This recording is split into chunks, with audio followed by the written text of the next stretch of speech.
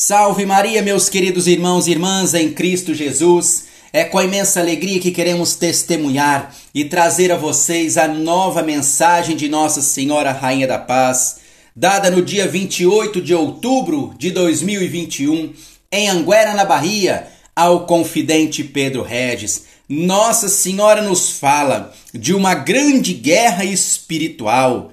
E para vencermos esta guerra, temos que dobrar os nossos joelhos em oração e não permitir que Satanás nos afaste da oração e nem da palavra de Deus. E ela nos convoca e hoje nos alerta, como muitas das vezes a verdade é mantida íntegra na Igreja Católica, na Igreja de meu Jesus.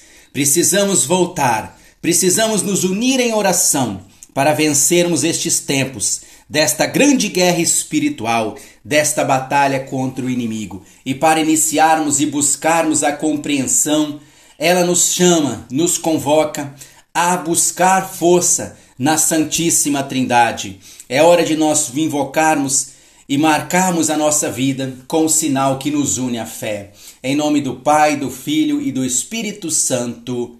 Amém. Vamos consagrar a esta mensagem, este vídeo a Nossa Senhora e toda a nossa família. Ave Maria, cheia de graça, o Senhor é convosco. Bendita sois vós entre as mulheres, e bendito é o fruto do vosso ventre, Jesus. Santa Maria, Mãe de Deus, rogai por nós, pecadores, agora e na hora da nossa morte. Amém. Glórias ao Pai, ao Filho e ao Espírito Santo, como era no princípio, agora e sempre. Amém. Abrasados pelo Espírito Santo de Deus, vamos receber a mensagem com um coração aberto para que o nosso coração possa ser um terreno fértil e cada palavra, cada mensagem possa ser como uma semente que vem germinar no nosso coração. Mensagem de Nossa Senhora, Rainha da Paz, transmitida no dia 28 de outubro de 2021 em Anguera, na Bahia. Queridos filhos, caminhais para uma grande guerra espiritual. Dobrai vossos joelhos em oração. Vós não podeis vencer o demônio se permanecerdes afastados da oração. Buscai forças na palavra do meu Jesus e na Eucaristia. Amai e defendei a verdade. A verdade é a luz que dissipa toda a escuridão das falsas doutrinas Aconteça o que acontecer, não vos esqueçais. A verdade do meu Jesus é mantida íntegra apenas na Igreja Católica. Não permitais que o lamaçal das falsas doutrinas vos arraste para longe do meu Jesus. Ele vos ama e espera muito de vós. Coragem, eu estarei ao vosso lado, embora não me vejais. Esta é a mensagem que hoje vos transmito em nome da Santíssima Trindade.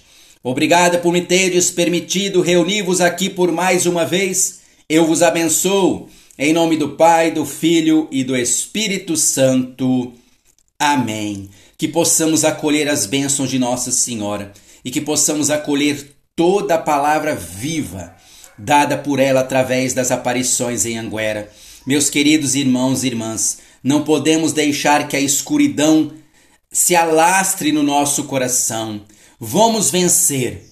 Vamos recuperar a luz do Espírito Santo dentro de nós através da oração, do Santo Terço, do Rosário, das mensagens de Nossa Senhora. Vamos deixar que ela fale conosco a cada dia e vamos acender a luz da espiritualidade para dissipar todas as trevas no nosso coração e na nossa família.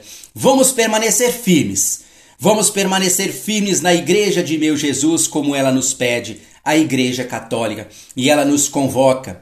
E algo de interessante no dia de hoje, como na mensagem passada ela nos convoca e nos diz: Coragem, meus filhos, eu estou com vós. Mesmo que não me vejais, sempre estou ao vosso lado. Nossa Senhora caminha conosco. Nossa Mãe caminha com cada um de nós. Acreditai, meus irmãos, para que possamos sempre receber a luz do Espírito Santo no nosso coração.